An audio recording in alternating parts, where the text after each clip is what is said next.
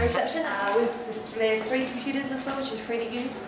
In here we have the common area. It's like a kitchen table and there's some couches. And we really, really homely feel to the hostel. This is what my favourite part. It's really, really well equipped. We've got there's a microwave and tea and coffee and toaster and a kettle. And there's the kitchen. We have one of two balconies.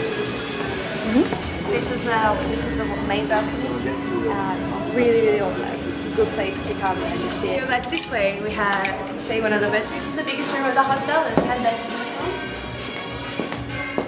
Uh, you can see there's lots of space, which is really good if you have a lot of bags. This is the one I always stay in. This is one of three bathrooms that you've at the hostel. This is my favourite. It's actually nicer than my bathroom back home. Um, take a look inside. So out here we have the second balcony. Um, this one's a bit bigger than the other one.